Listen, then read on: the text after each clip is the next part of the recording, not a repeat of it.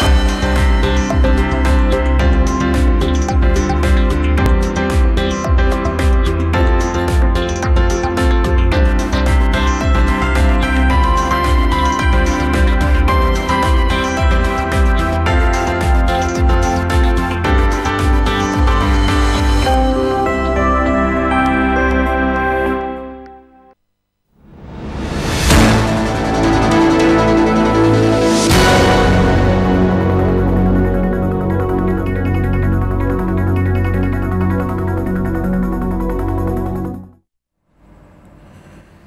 Ya, selamat malam pemirsa TVRI di mana pun Anda berada. Senang rasanya saya bisa menjumpai Anda kembali dalam dialog khusus TVRI.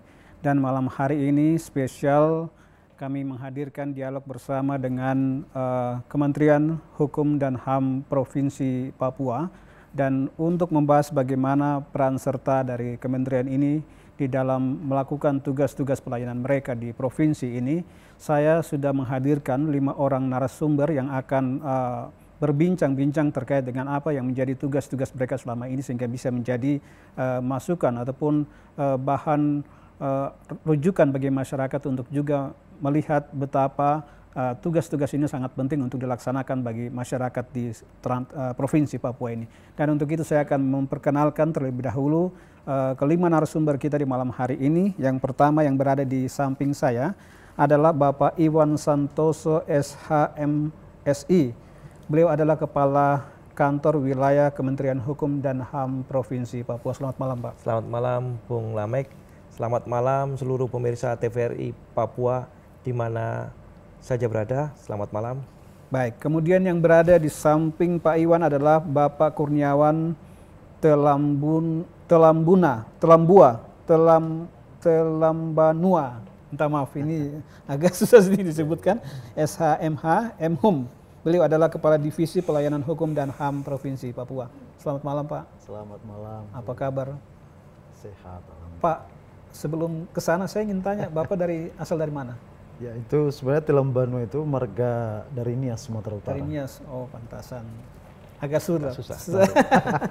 Baik, kemudian yang berada di sebelah Pak Kurniam, Kurniaman adalah Pak Sri Yuwono, BCIP, SIP, MSI sebagai Kepala Divisi Pemas Pemasyarakatan di kantor uh, Kementerian Hukum dan HAM Provinsi Papua. Selamat malam Pak. Selamat malam. Kabar baik juga ya? Alhamdulillah. Baik. Kemudian yang berikutnya adalah Johan Manurung SHMH sebagai Kepala Divisi Administrasi di Kanwil Hukum dan HAM Provinsi Papua. Selamat malam Pak. Selamat malam Pak. Dan yang paling ujung adalah Bapak Darwanto SH. Beliau adalah Kepala Bidang Lalu Lintas dan Izin Tinggal pada divisi keimigrasian pada kantor Kemenkumham Provinsi Papua. Selamat malam Pak. Selamat, Selamat malam. malam. Baik, uh, sebagaimana yang sudah saya sampaikan di awal tadi bahwa ternyata eh, tugas-tugas uh, dari Kementerian Hukum dan HAM Provinsi Papua ini juga masih banyak belum diketahui oleh masyarakat sehingga uh, ada yang bertanya-tanya begitulah. Nah, karena itu malam hari ini kami ingin bagaimana uh, menyampaikan ke publik tentang bagaimana uh, kegiatan administrasi hukum uh, umum melalui dialog yang sudah kita akan laksanakan pada malam hari ini. Dan untuk itu uh, saya ke Pak Iwan dulu. Ini terkait dengan tugas-tugas daripada kantor Kementerian Hukum dan HAM Provinsi Papua mungkin bisa disampaikan Pak. Terima kasih Bung Lamek. Uh, selamat malam kepada seluruh pemirsa TVRI Papua di mana saja berada. Perlu kami sampaikan bahwa Kanwil Kementerian Hukum dan HAM Papua ini adalah kepanjangan tangan dari Kementerian Hukum dan HAM Republik Indonesia, di mana eh, di Kementerian Hukum dan HAM Republik Indonesia itu ada 11 eselon 1.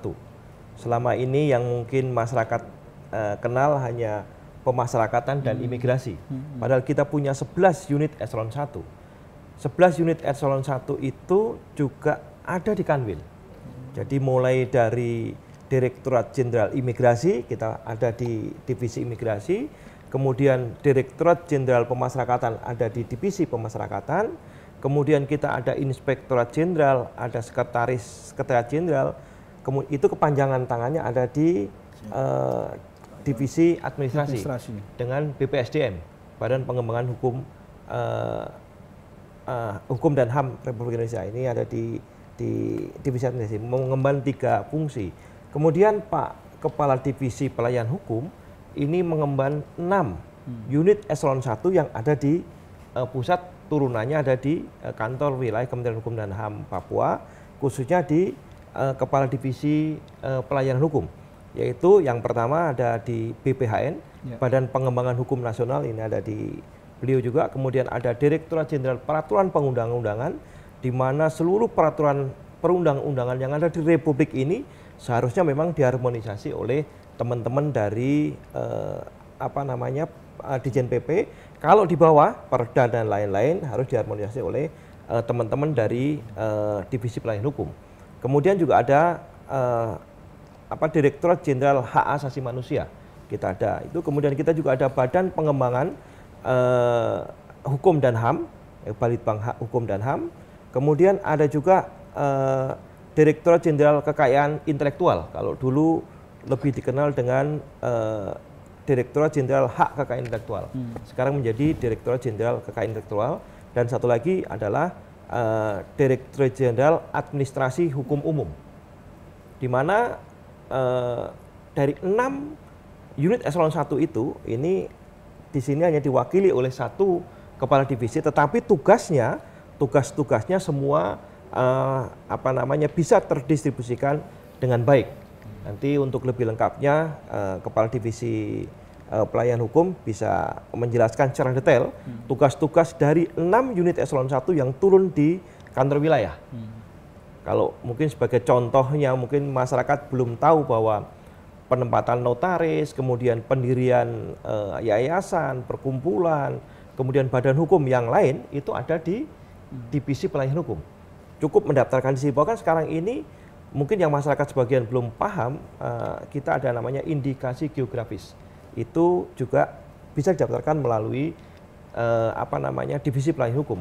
Yang terakhir kami proses kemarin adalah buah merah. Buah merah itu sudah kita juga uh, apa namanya daftarkan indikasi geografisnya hmm. di Kementerian Hukum dan HAM melalui uh, apa namanya uh, divisi pelayanan hukum. Kebetulan waktu itu Pak Gubernur menyerahkan kepada saya langsung di apa namanya ini Gor Cendrawasih depan depan apa namanya depan Mall Jayapura itu. Demikian terima kasih. Baik saya ke Pak Kurniawan ini. Pak Kurniawan kalau tadi bicara tentang uh, divisi pelayanan hukum dan HAM ini uh, bisa disampaikan ke masyarakat dalam tugas-tugasnya apa yang saja yang dilakukan sehingga masyarakat juga bisa uh, memanfaatkan divisi ini untuk bagaimana mereka terlibat secara langsung. Baik, terima kasih Bung Lamek, uh, para pemirsa yang uh, kami hormati. Uh, tadi Pak Kakani sudah menyampaikan bahwa dari 11 unit eselon 1, hmm. unit utama, ada enam uh, unit utama yang memang menjadi tugas dan fungsi divisi pelayanan hukum dan HAM. Dari keenam unit utama itu kalau saya kelompokkan atau saya bagi dalam tiga saja. Pertama ada yang membidangi pelayanan.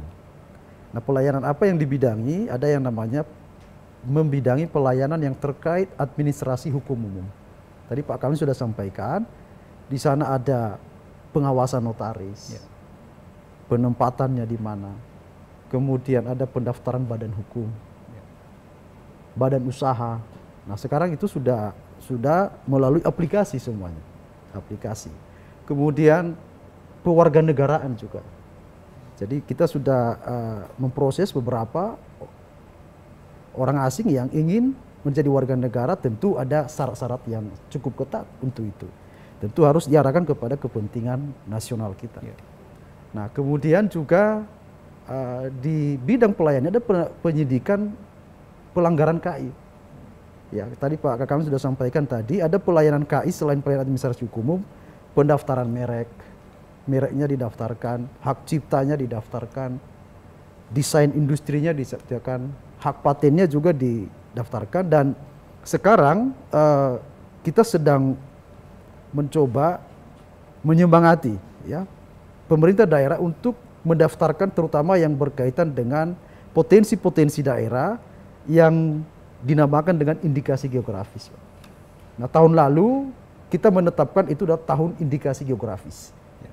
Maka seluruh wilayah di Indonesia itu kita mendorong Pemda untuk memfasilitasi supaya produk-produk khas daerah itu bisa bernilai ekonomis dan terlindungi secara hukum.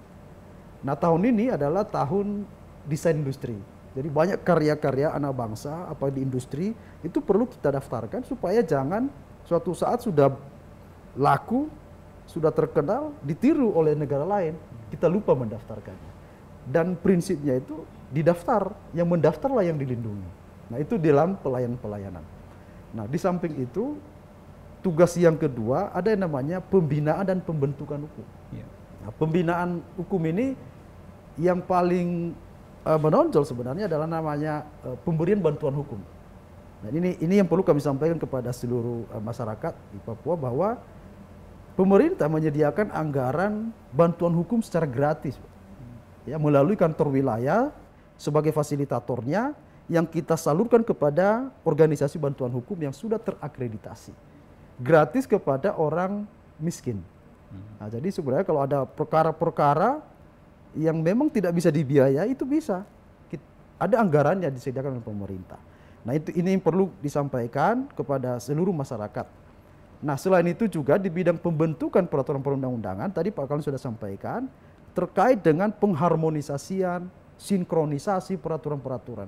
Nah sekarang kita uh, kita lihat misalnya pemerintah yang sekarang sudah ingin mempersoalkan misalnya begitu banyak peraturan perundang-undangan kita. Iya. Pak. Dan persoalannya adalah perundang-undangan itu cukup banyak dan tumpang tindih. Mengapa? Karena pengharmonisasiannya belum jalan.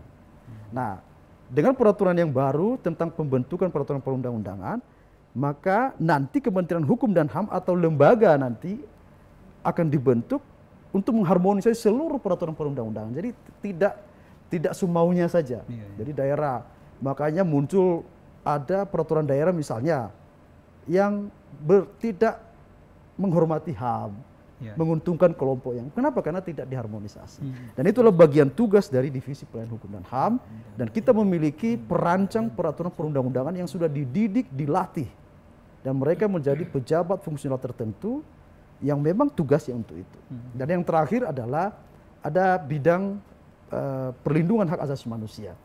Dan yang paling eh, menjadi apa namanya perlu diinformasikan kepada seluruh masyarakat bahwa di kantor wilayah itu ada yang namanya pelayanan komunikasi masyarakat, namanya Yankomas. Yankomas itu itu cukup efektif di seluruh di provinsi provinsi lain dan termasuk Papua itu komunikasi masyarakat yang dis- disampaikan kepada kantor wilayah itu efektif menyelesaikan persoalan. Misalnya, misalnya ada uh, masyarakat mengalami sebuah kasus tapi kasusnya tidak kunjung diselesaikan. Lalu dia laporkan, komunikasikan ke kita. Nah, memang kantor wilayah atau Kementerian Hukum bukan melakukan tindakan pro justisia tidak, Iya. tapi kita mencoba memfasilitasi, mencari kenapa ini tersendat. Nah, biasanya setelah kita kumpulkan, kita panggil pihak-pihak terkait, maka perkara itu bisa jalan, Pak. Ya. Nah, jadi eh, ini juga pada eh, malam hari ini kepada masyarakat jika ada yang merasa ada sesuatu yang hak asasinya itu apakah itu karena eh, kesewenang-wenangan atau apa saja itu bisa dikomunikasikan ke kantor wilayah melalui layanan komunikasi masyarakat. Masyarakat, Jadi itulah secara umum, Pak. Baik, baik. Terima kasih. Saya geser lagi ke Pak eh, Sri Iwono ini, Kepala Divisi Pemasyarakatan. Kalau tadi sudah disampaikan oleh eh, Pak Kurniaman terkait dengan eh, pelayanan hukum dan HAM, mungkin terkait dengan eh, pemasyarakatan sendiri bagaimana ini? Terima kasih, Pak. Iya. Jadi divisi pemasyarakatan itu merupakan kepanjangan tangan dari Direktorat Jenderal Pemasyarakatan yang ada di daerah. Ya. Jadi divisi pemasyarakatan melaksanakan tupoksi, tugas dan fungsi yang pertama tentang pelaksanaan pelayanan tahanan. Nah, tupoksi tersebut dilaksanakan oleh rumah tahanan. Rumah tahanan itu eh, untuk di Papua ini lapas itu merangkap rumah tahanan. Jadi tidak ada khusus rutan. Kalau di daerah lain ada khusus rutan, tapi di Papua lembaga pemasyarakatan melaksanakan tugas pokok rumah tahanan. Yang kedua, eh, divisi pemasyarakatan melaksanakan tupoksi tentang eh, pembinaan narapidana. Di mana unit pelaksana teknisnya yaitu lembaga pemasyarakatan yang melaksanakan tugas membina narapidana di dalam lembaga pemasyarakatan. Yang ketiga, eh, divisi pemasyarakatan melaksanakan tupoksi tentang eh, bimbingan klien pemasyarakatan yang mana tugas tersebut dilaksanakan oleh Balai Pemasyarakatan Bapas. Untuk Papua ada eh, Bapas Jayapura dan Bapas eh, Merauke, Bapas Merauke. Eh, fungsi selanjutnya yaitu eh, pengelolaan benda sitaan dan barang rampasan negara. Jadi tahanannya itu di rutan, barang-barang buktinya itu di rubasan. Untuk sementara di Papua baru satu rubasan yaitu rubasan Jayapura. Gitulah tugas Jadi pokok. 29 kabupaten kota ini baru satu saja. Baru satu. Yang seyogianya diharapkan setiap kabupaten kalau bisa ada rubasan. Ya. Baik, nanti kita akan gali lebih dalam lagi. Ya. Saya ke sebelah dulu ke Pak Johan ini. Pak Johan terkait dengan divisi administrasi. Mungkin bisa dijelaskan juga terkait tugas-tugas ini. Terima kasih Pak. Divisi administrasi adalah divisi supporting unit dari eh, per divisi teknis, di mana kami eh, divisi administrasi membawahi tiga unit eselon 1. Yang pertama mungkin dia dari sekretariat jenderal, di mana kita eh, mengkoordinasikan eh, program kerja, rencana kerja anggaran, tentunya dikelola di tempat kami Pak untuk kemudian juga pelaporan itu ada juga di tempat kami. Kemudian untuk SDM juga yang membawahi dari eh, badan BPSDM itu tentu juga untuk pengusulan diklat-diklat yang ada pada kami. Yang saat ini mungkin eh, dana dari pusat agak terbatas kita pakai sistem e-learning namanya Pak. Artinya kita tidak mesti hadir ke BPSDM di pusat karena 33 kabupaten apa kanwil kan personilnya cukup bawa banyak kita. Jadi eh, kita usulkan dalam bentuk e-learning di mana bisa pegawai kita menikmati eh, pendidikan itu by e-learning mungkin bisa di Papua di Bia Ya. di Merauke jadi dia tinggal buka laptop aja dia langsung bisa connect dengan eh, tim yang ada di BPSDM pusat, di Cinere Pak. Kemudian juga di tempat kami menyusun rencana kerja, program kerja, ya bagaimana eh, unit pelaksana teknisi tadi maupun divisi bisa merencanakan program kerja, rencana kerja dan kalender kerjanya. Tentu dengan pakai sistem triwulan supaya enak kita memantaunya, baik triwulan pertama, kedua, ketiga dan keempat. Kemudian kami juga pengelolaan dari laporan yaitu ada istilahnya B03, B06, B- B09 dan B12. Itu tentunya untuk pelaporan untuk bisa mengukur kinerja dari indikasi kinerja dari rekan-rekan kita baik divisi maupun dari UPT. Semua kita rangkum nanti di akhir tahun tentu macam ini rencana kita eh, kementerian eh, akan PIMT kami ini PIMT namanya Pak eh, arti ikut mungkin rencana nanti tanggal 10 Pak Kanwil ya yang kita eh, tanggal 18 sampai tanggal 21 di Jakarta Pak. Itu mengukur kinerja dari kami masing-masing dari administrasi eh, imigrasi membawa unit imigrasinya Pak Divisi Pas dengan Bapak dengan Pak apa nanti enam juga Pak Kadip Yankum ada enam yang dibawanya tentu di sana akan kita diukur Pak. Mungkin di hadapan juga bagaimana eh, kinerja kami. Mungkin dari situ mungkin Pak, Pak mungkin Pak Kakanwil sudah ada prestasi Pak. Ya, oh Pak Kanwil ini cocoknya di gini angkat diangkat. Pak Kadip ini oh cocoknya arah gini diangkat. Itu dari situlah ya, pusat tahu kinerja kita di baik walaupun kita di timur ini boleh dikatakan masih jauh dari eh, Jakarta Pak tapi kita tetap baik laporan itu tentu dengan baik eh, alert, eh, bagi eh, elektronik semuanya Pak ya. I, I, I. I, I semua semuanya I Baik, Terima kasih, Pak. baik terima kasih. Untuk sementara saya juga langsung ke Pak Darwanto ini terkait dengan bidang lalu lintas dan izin tinggal pada divisi keimigrasian. Silakan Pak. Makasih Pak Kekanil, para pemirsa. Mengenai imigrasi ini seksi sekali kan. Tahu udah tahu semua apa itu imigrasi. imigra, uh, direk, uh, divisi keimigrasian itu melaksanakan sebagian tugas kepala kantor wilayah di daerah. Jadi tugas kepala kantor wilayah itu dilaksanakan mengenai imigrasi itu dilaksanakan oleh divisi keimigrasian. Ya itu jadi eh, tapi secara teknis itu bertanggung jawab kepada Direktur Jenderal Imigrasi di Divisi Keimigrasian Papua itu mempunyai lima kantor uh, perwakilan apa unit pelaksana teknis, uh, empat kantor imigrasi dan satu rumah detensi imigrasi. Perlu saya jelaskan apa tugas divisi terhadap kan, kantor-kantor imigrasi di daerah. Di Papua ini 29 pro, uh, kabupaten. kabupaten hanya di mempunyai empat kantor imigrasi. Coba bayangkan. Uh, tugas kantor imigrasi itu yang pertama itu memberikan izin masuk dan izin keluar baik warga negara asing maupun warga negara Indonesia.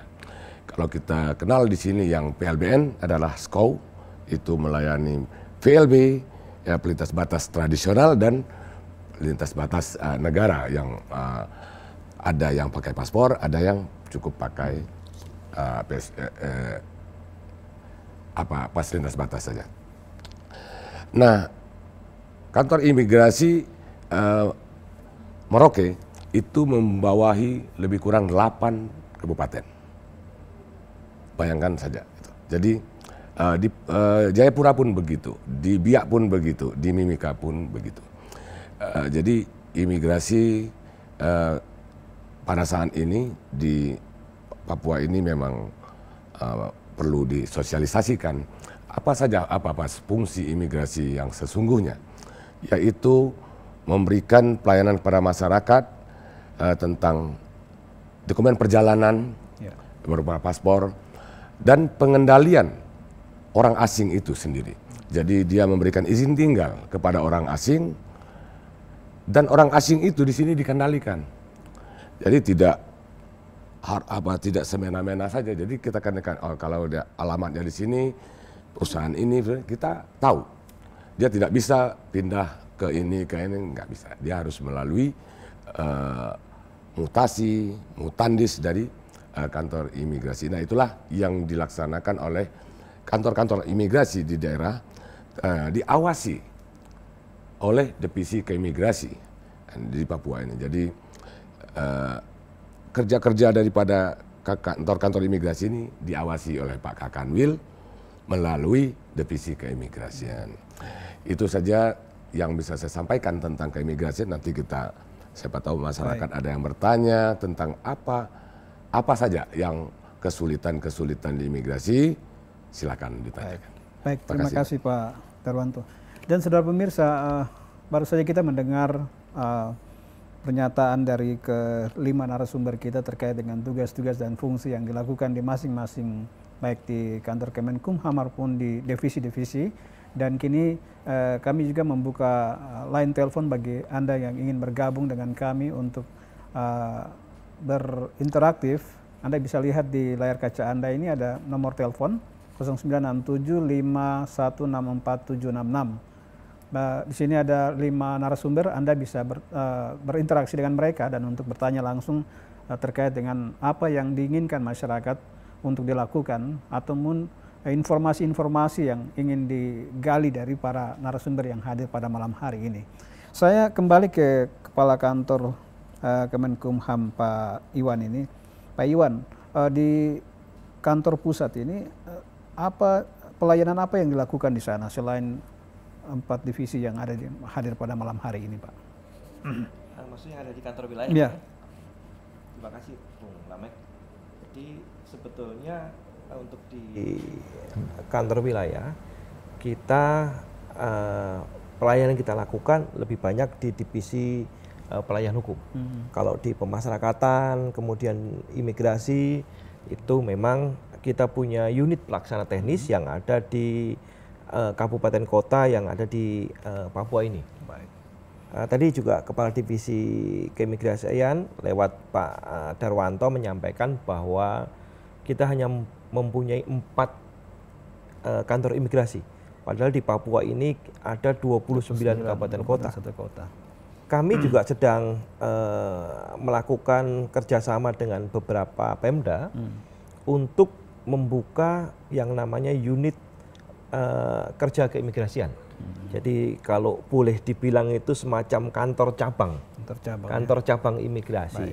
Kemarin eh, terakhir kami eh, mendampingi Pak Wakil Bupati Bomendikul eh, ke Pak Dijen Imigrasi untuk membuka eh, UKK di Bomendikul. Pak, nanti kita lanjutkan. Ada ada yang ingin bergabung dengan kita malam hari Oke, ini. Pak. Halo, selamat malam. Oh, nampaknya menunggu cukup lama. Silakan dilanjutkan, Pak. Kemudian sebelum eh, dengan Bomendikul, kami juga sudah eh, apa namanya menjajaki juga kerjasama dengan Pak Bupati DIY. Kita juga sudah ke Dijen Imigrasi untuk eh, apa namanya membuka UKK di DIY, sehingga pelayanan keimigrasian lebih didekatkan, Pak. Kemudian kita juga eh, sudah membuka UKK di Timika di Tembagapura, Pak. Karena kita tahu bahwa di sana juga perlu pelayanan untuk mendekatkan eh, warga negara asing sehingga tidak perlu lagi dari Tembagapura turun ke ke Mimika. Itu yang yang sudah kita lakukan. Kemudian juga di pemasyarakatan kita juga sudah eh, apa namanya eh, berupaya untuk membangun satu bapas lagi untuk mendekatkan juga pelayanan kepada keluarga narapidana.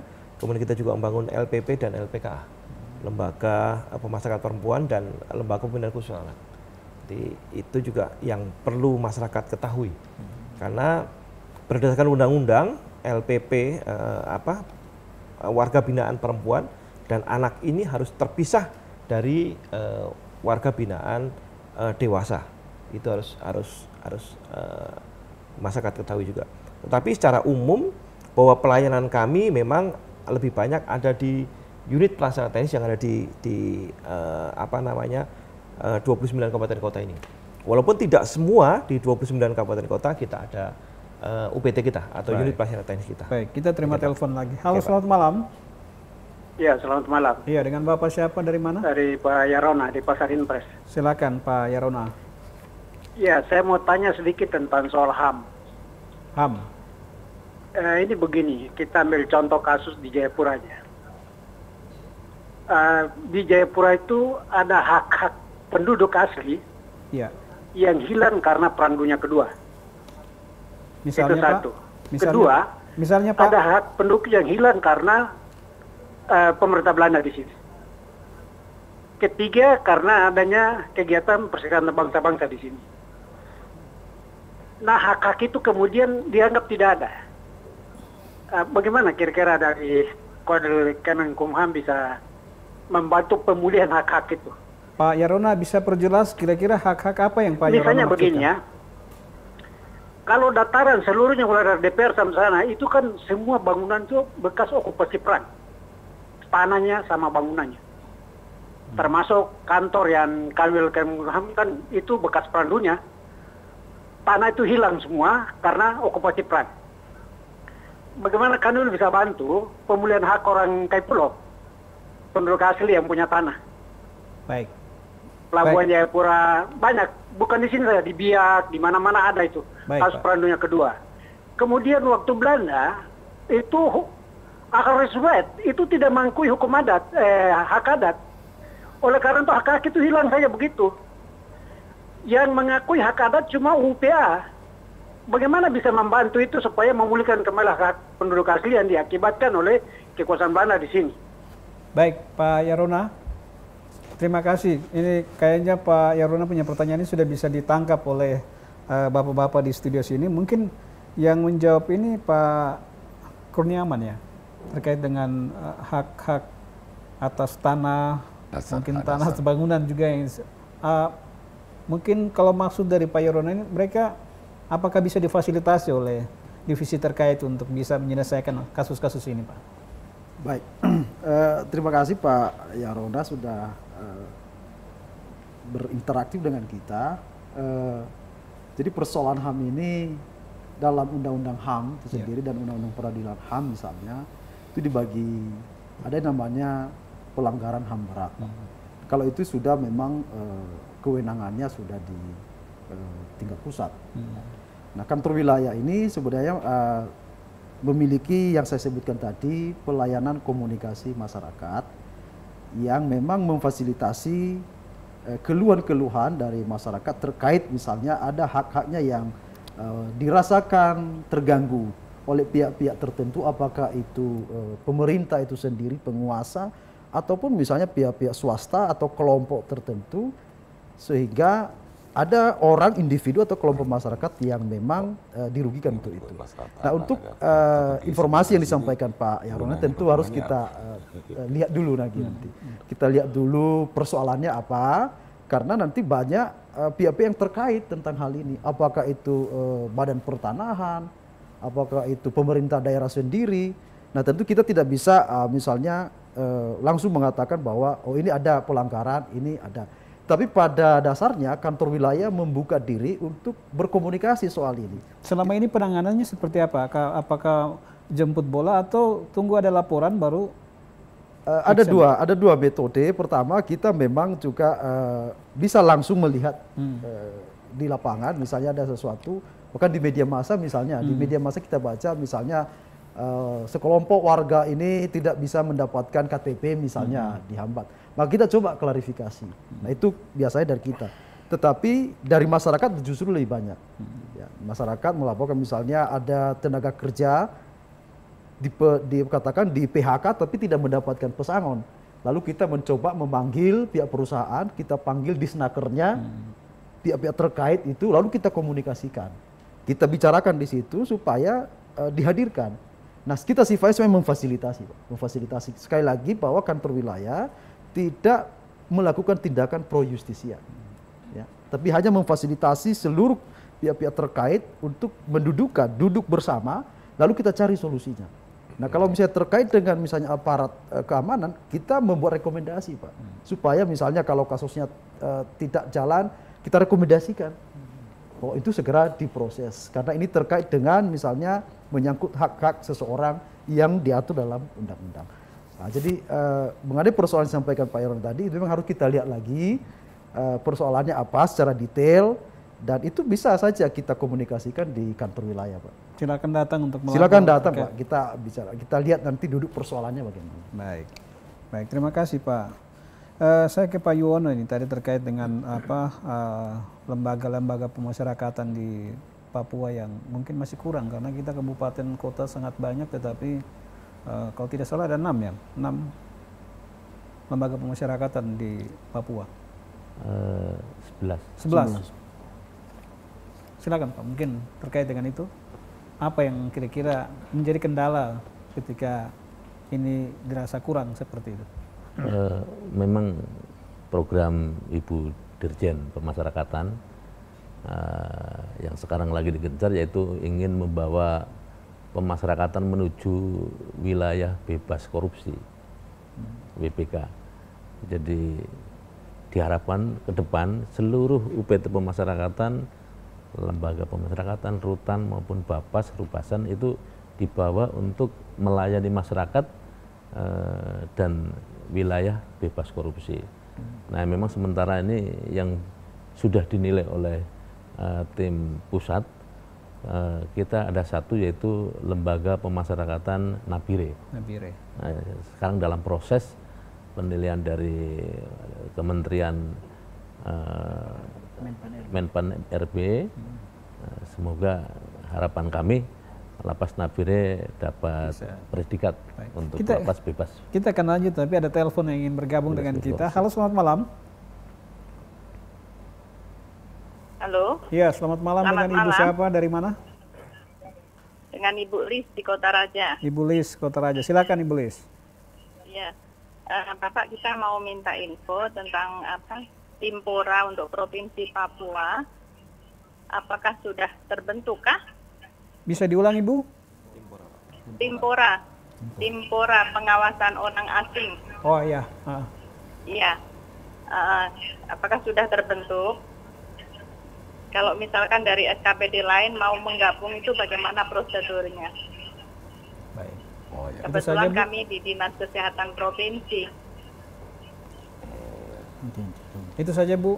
Tulis. Ya, ya begitu saja. Terima Baik, terima kasih Bu Lis. Bisa dijawab langsung Pak. Ya.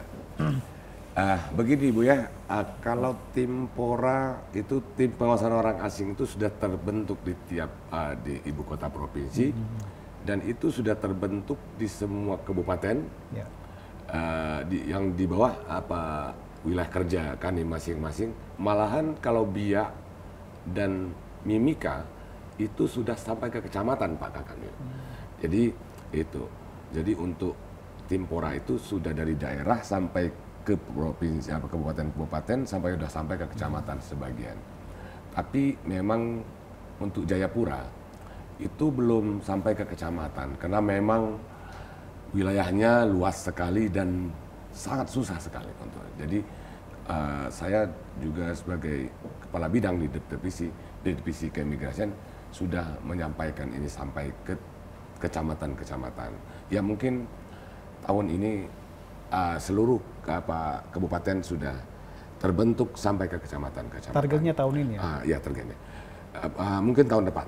Kalau ini sudah berakhir tahun ini mungkin kemarin yang saya hadirin waktu di Biak dan di Oroke Pak, ya, sudah sampai ke kecamatan. Insyaallah depan sudah, uh, kurasa tahun depan itu uh, akan sampai ke kecamatan semua. Uh, mengenai uh, dari dinas kesehatan ini uh, itu tim. Jadi kesehatan ini termasuk tim. Jadi CIQ itu immigration, karantin dan custom itu masuk dalam tim Pora. Tetapi dinas kesehatan ini memang kadang-kadang terlupakan, bukan apa ya, dinas ya, bukan departemen kesehatan. Ya saya coba nanti saya akan bicarakan dengan Pak Kepala Divisi dan Pak Kakanwil agar dinas ini eh, dimasukkan ke dalam tim Pora. Kadang-kadang kita eh, kadang-kadang kesehatan ini sama dengan dinas dengan dinas karantina kesehatan itu. Jadi mohon maaf Bu ya kalau ini memang agak terlupakan ya kalau Ibu merasa tidak terundang kalau tim Pora itu dinas kesehatan. Tetapi eh, ke depannya saya akan apakan itu. Karena saya juga pernah mendengar itu memang ya dinas kesehatan ini tidak apa tidak dimasukkan. Baik. Ah gitu aja. Baik, Pak Yono, mungkin masih bisa dilanjutkan yang tadi. Tadi baru Nabire, mungkin ada yang lain lagi yang akan di ini. WBK WBK. Eh, jadi pemasyarakatan oleh pimpinan Direktur Jenderal Pemasyarakatan eh, akan meningkatkan eh, layanan secara optimal kepada masyarakat. Eh, yang pertama layanan pemasyarakatan berbasis online, jadi mempercepat eh, birokrasi langsung jadi operator dari lapas langsung dikirim ke, ke Jakarta. Jadi mengurangi birokrasi yang ada. Yang kedua juga apa namanya eh, layanan berbasis HAM. Jadi kami eh, pemasyarakatan berusaha optimal mungkin melayani masyarakat unsur-unsur hak asasi manusia tetap kita laksanakan di dalam lapas. Yang kedua kita layan pemasyarakatan eh, tidak dipungut biaya satupun. Jadi seluruh layanan pemasyarakatan itu gratis. Jadi gratis semuanya. Jadi kita sudah eh, laksanakan sebaik mungkin, secepat mungkin. Itu itu tambahan dari kami. Baik. Pak Iwan, ini kan kalau bicara tentang masyarakat juga eh, layanan pem- pemasyarakatan ini kan tadi saya sempat singgung soal jumlah lapas yang berada di Papua yang cukup sedikit kalau kita melihat dari jum, dibandingkan dengan jumlah eh, kabupaten. yang ada di Papua. ini. Eh, kendalanya apa ini Pak? Sehingga masing-masing kabupaten tidak bisa memiliki eh, lapas sendiri seperti yang diharapkan. Karena selama ini kalau ada kasus misalnya eh, tahanan lari kemudian ditanya kekurangan Iya, betul. seperti itu mungkin Iya. bisa di ini Terima kasih Bung Lamek. Memang kalau kita bicara eh, lembaga masyarakat di Papua ini memang hampir semuanya sudah berkapasitas. Berkapasitas. Di samping itu juga kita memang mengikuti kejaksaan dan pengadilan, Pak. Memang sekarang ini kalau ada kejaksaan pengadilan kita memang eh, di situ seharusnya ada lapas. Kemudian terakhir kita membangun di Sarmi tapi karena tanahnya kemarin agak bermasalah sehingga tidak jadi kita bangun. Memang kesulitan kita adalah uh, untuk pengadaan tanah. Kalau uh, ada tanah dihibahkan oleh Pemda, kita siap membangun. Kita siap membangun. Jadi sebetulnya uh, dari Kementerian Hukum dan HAM memang uh, mohon bantuan ke Pemda, ke Pemda untuk menyediakan lahan. Kita akan membangun, akan membangun dengan biaya dari Kementerian Hukum dan HAM. Seperti LPK, LPP, kemudian Bapas yang baru ini memang uh, apa namanya uh, tanahnya dibantu oleh dibahkan oleh Pemda, Pemda Kerom kemudian pembangunannya oleh kita. Itu.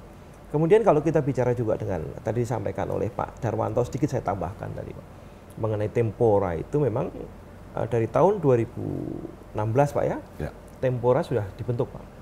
Walaupun pada waktu itu tidak seperti sekarang sampai tingkat kecamatan. Uh, tahun 2018 kita sudah mulai di seluruh kabupaten kota sudah terbentuk Pak. Walaupun belum sampai tingkat kecamatan, tapi 2019 sudah tingkat tingkat kecamatan. Kita harapkan juga ada uh, peran serta masyarakat di dalam pengawasan orang asing ini, karena kita dengan keterbatasan kantor imigrasi, kita mengharapkan dari instansi lain, instansi lain dan masyarakat, tokoh-tokoh masyarakat untuk membantu kita dalam pengawasan orang asing.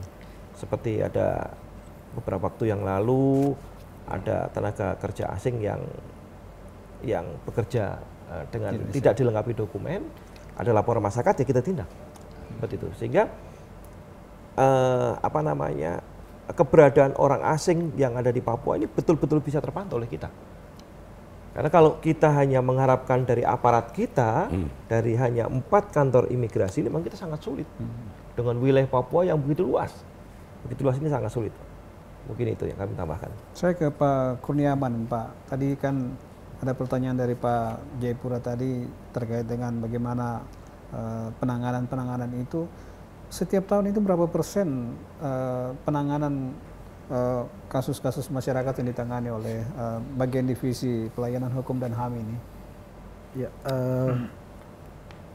ini menyangkut hak asasi yeah. manusia ya. Uh, jadi sekali lagi uh, kami sampaikan kembali bahwa uh, kita memang sifatnya memfasilitasi. Hmm Nah, seperti misalnya di tahun 2018 misalnya ada 27 ya uh, informasi yang disampaikan ke ya. kantor wilayah uh, dengan berbagai persoalannya. Ada yang memang itu sudah sedang ditangani oleh hukum. Hmm. Kalau itu kita tidak boleh masuk.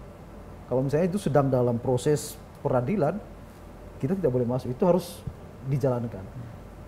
Tetapi misalnya proses peradilan tidak jalan sudah diadukan, tidak diproses oleh penyidik misalnya. Setelah berlama, tidak, baru kita komunikasikan. Kita kita akan berkoordinasi dengan penyidiknya sendiri, di mana kendalanya. Nah, kalau yang persoalan seperti itu, itu efektif sekali, Pak. Itu langsung direspon langsung oleh uh, aparat yang atau misalnya pihak yang memang kita panggil. Jadi 27 itu kita selesaikan semua. Nah, kecuali misalnya kalau memang itu sudah masuk ranah hukum, sudah berproses, kita tidak boleh masuk di situ itu sudah berarti sudah berjalan.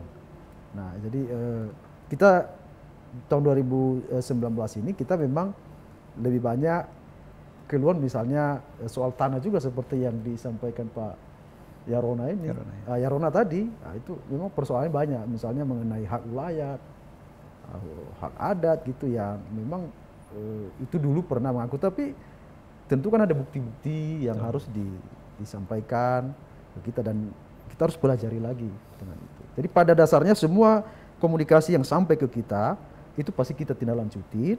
Kalau misalnya itu sifatnya membutuhkan uh, koordinasi dengan pusat, kita langsung bawa ke Jakarta ke Direktorat Jenderal Hak Asasi Manusia. Ada di situ Direktur uh, Pelayanan Komunikasi Masyarakat di tingkat uh, Dirjen. Selama ini respon masyarakat dengan hal-hal uh, semacam ini, bagi, uh, komunikasi mereka ke divisi terkait itu berjalan lancar seperti atau bagaimana? uh, mungkin banyak masih belum belum belum paham. Kemudian banyak juga yang uh, masih belum memahami bahwa mereka masyarakat mengira bahwa kita memang bisa seperti misalnya melakukan penyidikan. Tidak, hmm. tidak ya. Sekali lagi bahwa kita tidak masuk ke ranah yang uh, pro justisia tadi. Tetapi saya sebutkan bahwa itu efektif karena itu mendorong, Pak, mendorong pihak-pihak lain yang memang eh, ada persoalan di situ. Ya, jadi akhirnya kita buat di dalam forum yang terbuka, kita panggil seluruh stakeholder yang berkepentingan, dan kalau memang apa kita buat laporannya, kita buat rekomendasikan, kita tembuskan. Kalau misalnya di tingkat bawah ada atasannya di Jakarta, kita tembuskan. Pak. Nah, itu juga salah satu misalnya uh, upaya kita untuk membuat terang benderang itu persoalan sehingga uh, kita tidak boleh main-main lagi terhadap hak-hak masyarakat.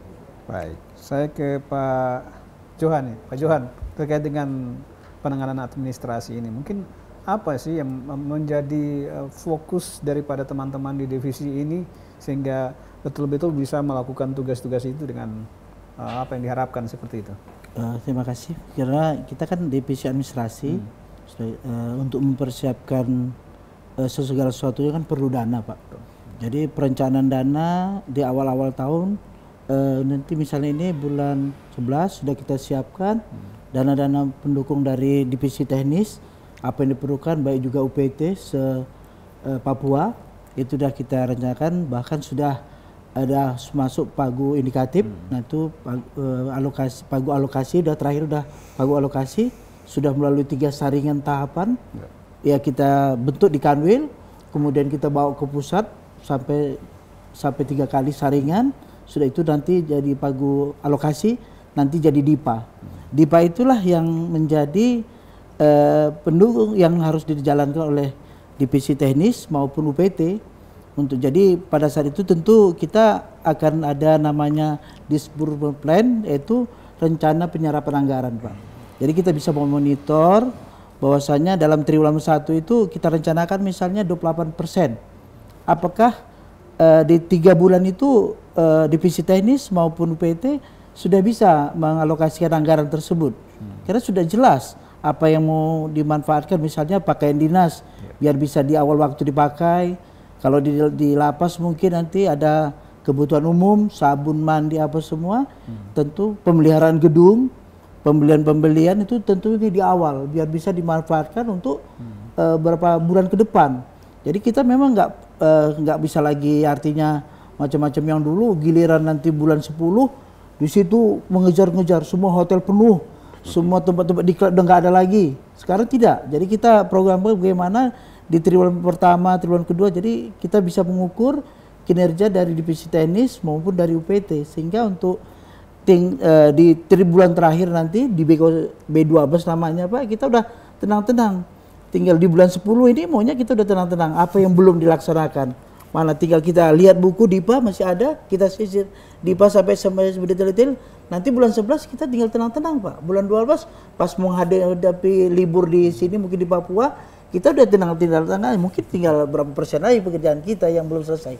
Baik, Jadi Pak. itulah yang bisa kami sampaikan Pak. Untuk selaku divisi supporting unit namanya untuk para divisi eh, teman-teman eh, kita napas semua. lah dari semua divisi yang ada. Ya, kami ibu rumah tangganya sebenarnya. Mungkin perlu ya. sedikit saya tambahkan. Silakan, silakan. Mungkin sederhananya bahwa di divisi administrasi itu mengemban tiga program artinya. Hmm. Jadi ada dukungan manajemen, ada SDM dan sarana prasarana. Hmm. Walaupun sekarang sarana prasarana sudah lebih banyak diserahkan ke divisi teknis, Pak. Hmm. Uh, dukungan manajemen kita tahu bahwa uh, semua yang berkaitan dengan manajemen memang ada divisi administrasi. SDM, Pak. SDM juga dari mulai naik pangkat, pindah, rekrutmen pegawai ada di uh, divisi administrasi. Bahkan kita di Kementerian Hukum dan HAM ini dalam hal rekrutmen pegawai kita sudah menjadi uh, percontohan Pak dari seluruh kementerian. Dari mulai tahun 2017, 2018 bahkan di tahun 2019 rencana juga ada penerimaan pegawai. Untuk di Papua ini perlu kami sampaikan juga karena banyak pertanyaan dari masyarakat tentang penerimaan CPNS di Papua. Kita transparan Pak. Bahwa kita sudah menggunakan sistem yang namanya affirmative action Pak. Kalau orang bilang hanya afirmatif, kita sudah affirmative action. Affirmative sudah ketika berbagai action kan. 75% dari pegawai yang kita terima adalah orang asli Papua, Pak. Ini perlu kita sampaikan ke. Kalau nanti Bapak datang ke UPT UPT kita di penerimaan 2017 2018 75% sudah orang asli Papua. Kita sudah sangat terbuka, Pak. Baik. Itu yang perlu juga di uh, apa uh, uh, pahami teman-teman oleh masyarakat Papua, Pak. Karena selama ini kan banyak menyampaikan bahwa penerimaan CPNS eh, banyak pendatang enggak. Itu 75% sudah orang asli Papua, Pak. Baik. Begini tambahan Waktu kami. kita sudah Terima di penghujung Pak. Saya eh, kasih waktu satu satu menit buat atau 30 detik untuk masing-masing narasumber untuk menyampaikan eh, closing statement terkait dengan eh, apa yang menjadi eh, perbincangan kita pada malam hari ini. Mulai dari Bapak yang paling ujung Pak Darwanto, silakan Pak. Makasih uh, untuk pemeriksa di rumah. Untuk pembuatan paspor, uh, datanglah ke kantor imigrasi yang terdekat. Jangan pakai calok, datang sendiri. Uh, tidak ada lebih-lebihnya lagi, bayar PNBP saja. Kalau ada lapor ke Pak Kakanwil aja nanti ya. Silakan Pak Johan. Terima kasih. Tadi sudah disampaikan dari Pak Kakanwil. Kami harapkan kepada anak-anak kami, pemuda-pemuda Papua, mari persiapkan diri secara mental maupun fisik. Tentunya dengan tidak pakai tato, dengan tidak eh, tindih, siapkan mentalmu. Mudah-mudahan nanti eh, ada penerimaan CPNS. Mudah-mudahan ini menjadi peluang pada eh, anak-anak kita di Papua. Terima kasih. Baik, Pak Iwono silakan. Untuk pemasyarakatan, harapan kami ke depan kami bisa meningkatkan layanan masyarakat, eh, terutama untuk menuju wilayah bebas korupsi, layanan tanpa biaya. Eh, Harapan kami ya, begitu. Baik, Pak Kurniawan, itu Kurniawan. Minta maaf saya. Ya, jadi kami sampaikan khusus dari Divisi Pelayanan Hukum dan HAM eh, itu layanan seluruh layanan kita sekarang sudah eh, menggunakan aplikasi online. Jadi sangat cepat, pasti, ya. Jadi tidak tidak seperti dulu lagi. Semua bisa kita akses. Dan kemudian satu lagi eh, mungkin jadi pesan kantor wilayah supaya pun pemerintah daerah itu bisa mendorong didaftarkannya produk-produk daerah yang disebut dengan indikasi geografi sehingga ada ciri khas. Kalau kita sudah bicara matoa, oh itu pasti Papua. Bicara buah merah itu Papua. Seluruh internasional, dunia internasional tahu, oh Papua, oh itu berarti buah merah. Itu berarti matoa dan lain-lain. Jadi ini tugas kita bersama. Terima Baik. kasih, Pak. Terakhir Pak Iwan, silakan Pak. Terima kasih Bung Lamek. Kementerian Hukum dan HAM Papua ini eh, kepanjangan tangan dari Kementerian Hukum dan HAM Republik Indonesia. Kami butuh dukungan dari Pemda, butuh dukungan dari instansi terkait lain seperti TNI, Polri, Kejaksaan, Pengadilan, BNNP dan lain-lain. Tanpa dukungan dari instansi lain, maka Kementerian Hukum dan HAM ini bukan berarti apa-apa. Demikian, terima kasih. Baik. Sudah pemirsa, itulah tadi closing statement dari kelima narasumber kita. Tapi eh, apa yang sudah disampaikan dalam sosialisasi Kemenkumham di malam hari ini, eh, kami berharap bisa menjadi eh, bahan bagi masyarakat untuk bisa mengenal lebih dekat dan bisa mem- memanfaatkan kantor ini untuk eh, tugas-tugas ataupun hal-hal yang memang menjadi keluhan masyarakat ke situ. Baik, saya eh, cukupkan sampai di sini. Terima kasih atas kehadiran para narasumber kita malam hari ini sudah bergabung dengan kami di sini. Dengan demikian, maka dialog kita di malam hari ini, saya atas nama seluruh kerabat kerja yang bertugas menyampaikan terima kasih atas perhatian Anda dan selamat malam.